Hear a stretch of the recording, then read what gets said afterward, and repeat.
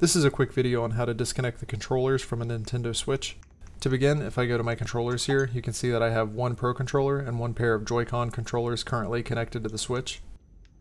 To disconnect all controllers, you just have to go into System Settings, then scroll down until you see Controllers and Sensors and select that. Scroll down and select Disconnect Controllers.